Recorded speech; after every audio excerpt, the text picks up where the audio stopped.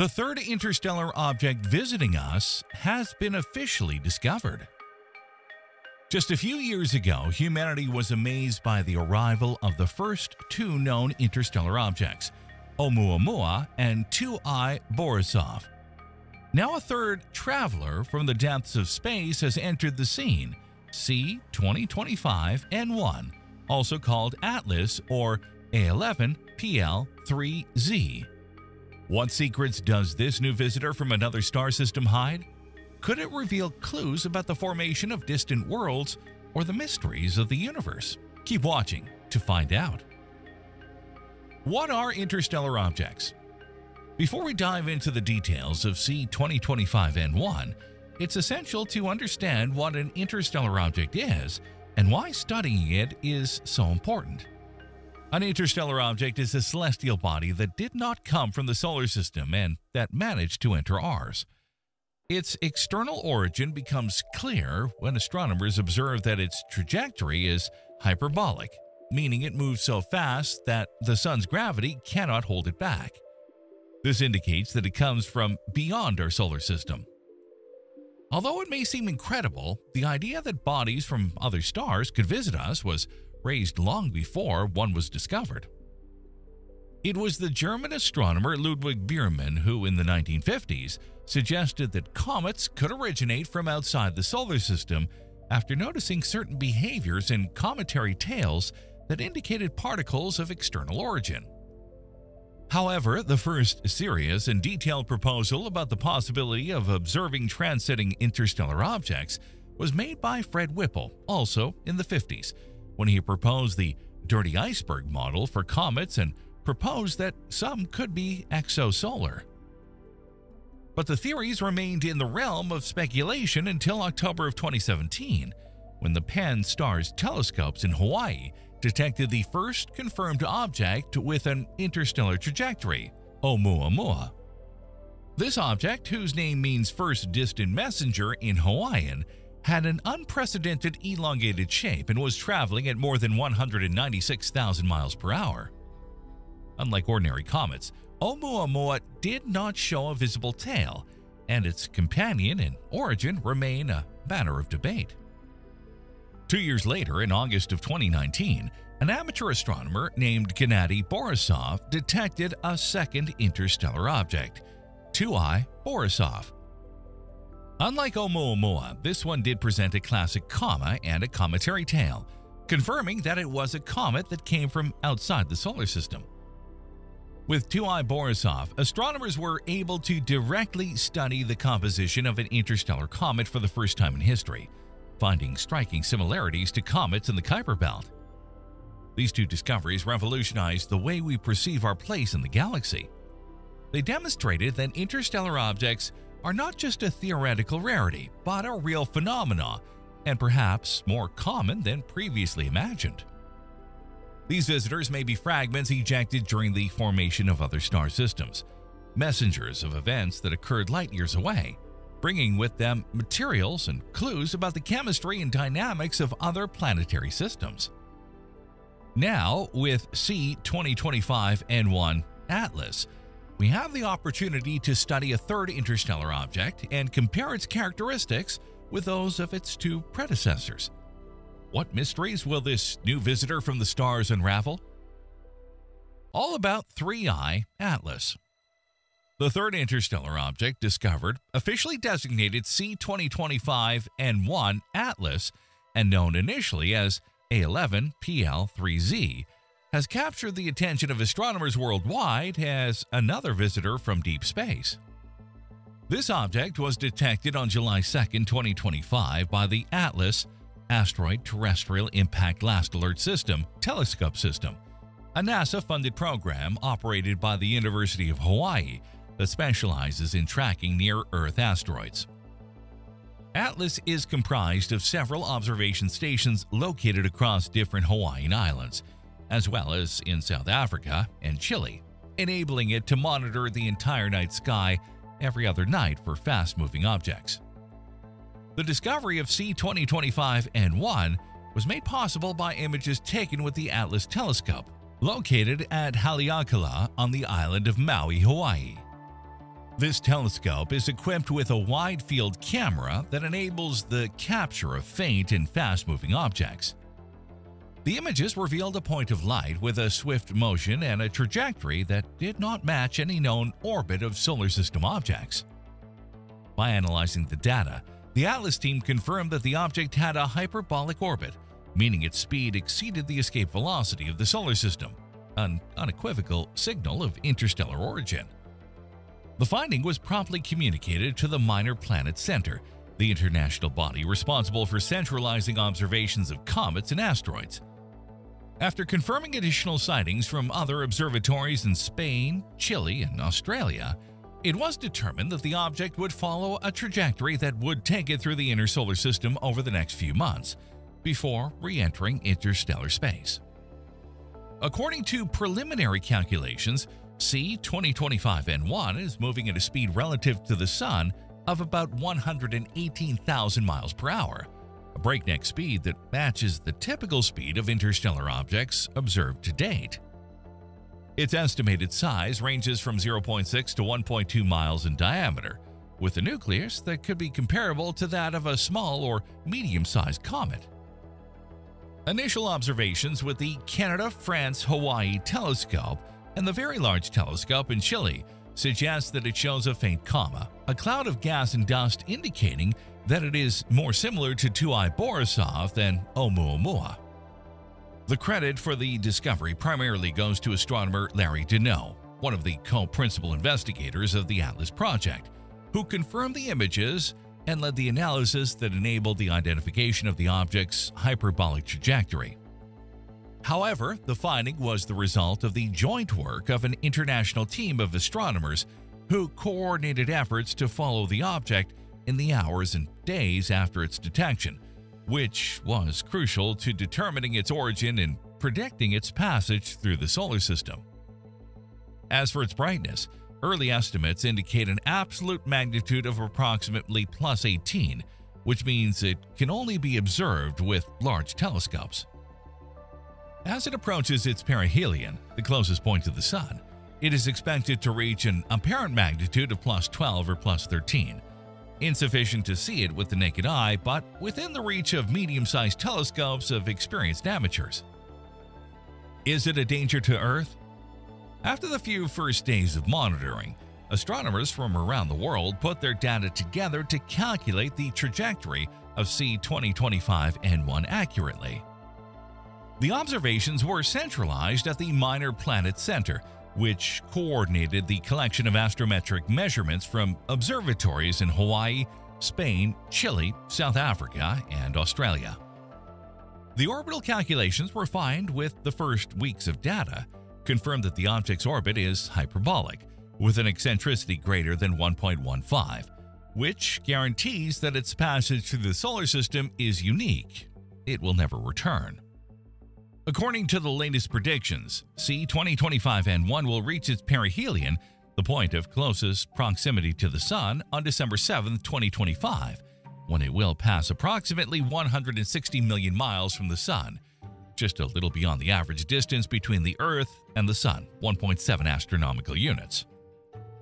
At that time, the object will be at its most active and brightest, providing astronomers with the best opportunity to study its coma and tail should it exhibit more intense cometary activity.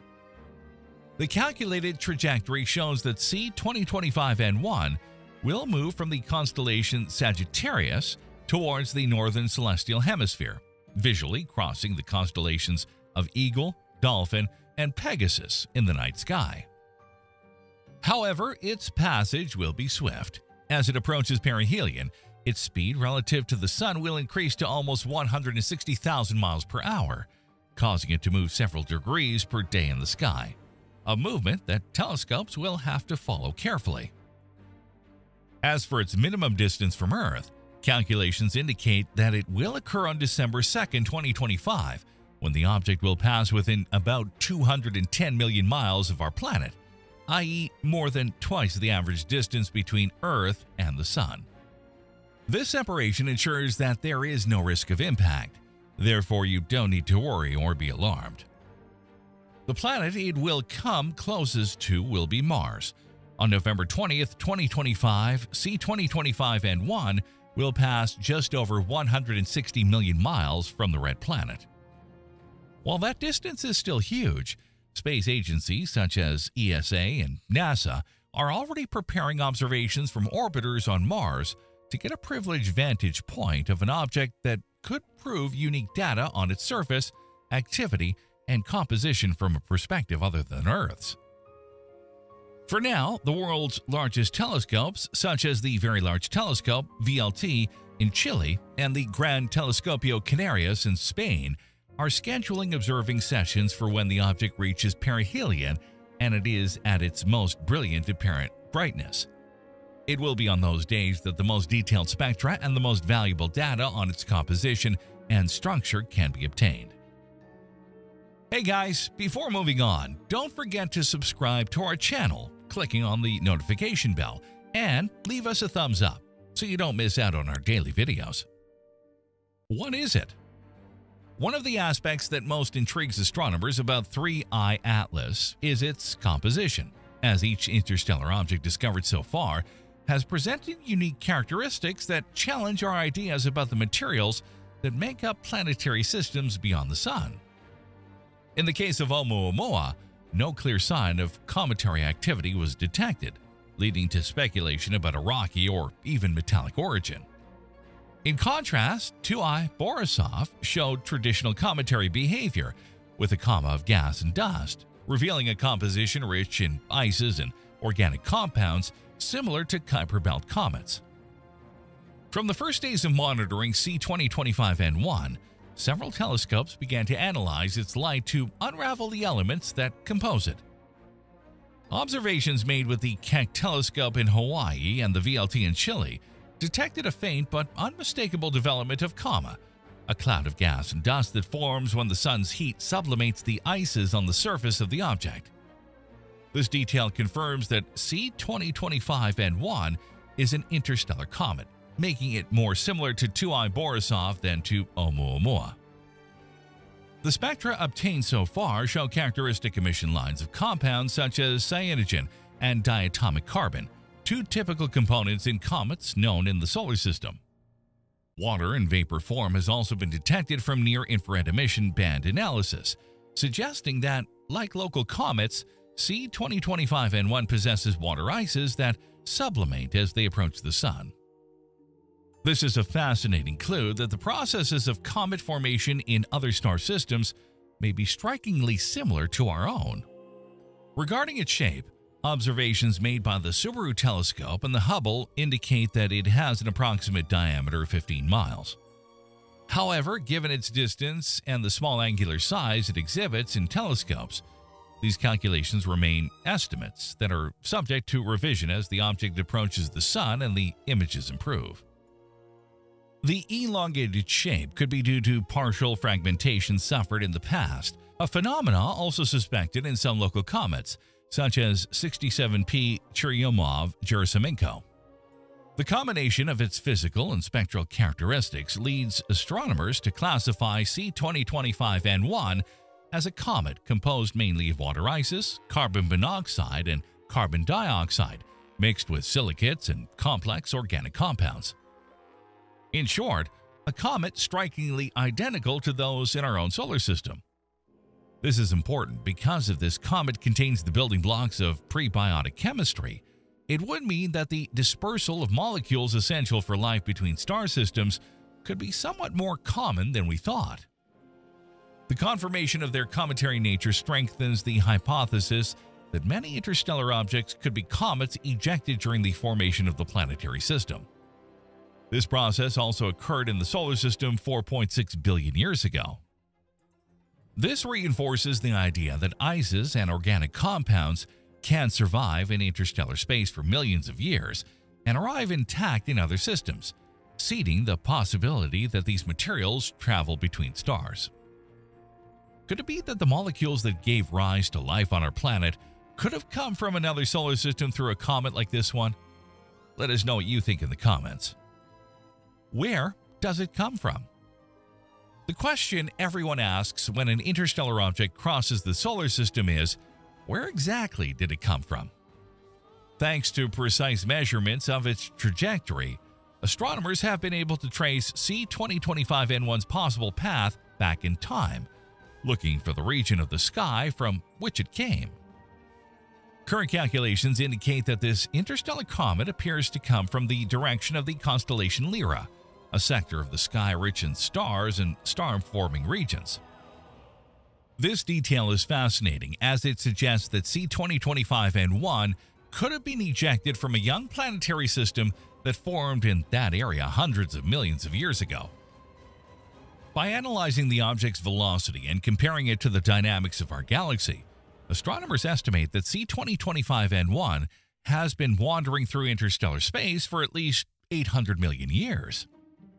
This means that it left its original system when Earth was just beginning to host multicellular life forms in the oceans, and that since then, it has traveled aimlessly through the void until chance brought it to a brief encounter with our Sun. After passing through the solar system, it is estimated that it will follow a new trajectory towards the halo of the Milky Way, moving with enough speed to escape even the combined gravitational pull of the Sun and the planets. One of the most widely accepted theories about the origin of objects like this is that they were ejected during the first millions of years of life of their star system, when giant planets such as Jupiter or Saturn were forming and their strong gravitational fields acted as catapults for small bodies such as comets or asteroids. This process also occurred in our own solar system, where trillions of comets are thought to have been launched into the Oort cloud or ejected into interstellar space. C2025N1 could be one of those exiles from another star, a witness to the violent beginnings of a distant planetary system. Of course, not all scientists agree on a single scenario. Some researchers raise the possibility that objects like C2025N1 not only originate from known planetary systems, but could also form directly in giant molecular clouds before the stars ignite, roaming the galaxy as primordial fragments. Others suggest that gravitational interactions in star clusters, where stars are born close together, could favor the mass ejection of comets and asteroids, creating veritable showers of interstellar objects that travel over eons. This leads us to reflect on disturbing questions. What would have happened if C2025N1 had a trajectory that took it directly to Earth? 3i Atlas travels at 118,000 miles per hour, if it were on a collision course with Earth, it would impact our planet in mid-October of this year. If we consider that it was discovered on July 1st, it would mean that humanity would only have three months to deflect it, destroy it, or make any maneuver to avoid that collision. Let's remember that the meteorite that ended the age of the dinosaurs was only about 12 kilometers in diameter. This comet measures 24 kilometers in diameter, exactly twice that size. If it were to go to Earth and we did nothing, it would wipe out all traces of life on the planet.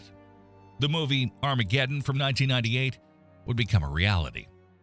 Fortunately, 3I Atlas does not pose a danger to the Earth, as its closest approach to our planet will be at a greater distance than the Earth's distance from the Sun. However, this serves as a reminder that life on Earth could end at any moment due to one of these extrasolar visitors. The study of these objects is not only essential for understanding how planetary systems formed, but also for improving our ability to detect early and potential impacts. Each interstellar object we discover is an opportunity to refine our orbital observation and modeling techniques, taking us one step closer to being able to detect in time any potential collision course that one of these travelers might have. Thanks for watching. If you liked the video, then you should check out our interstellar videos on the end screens.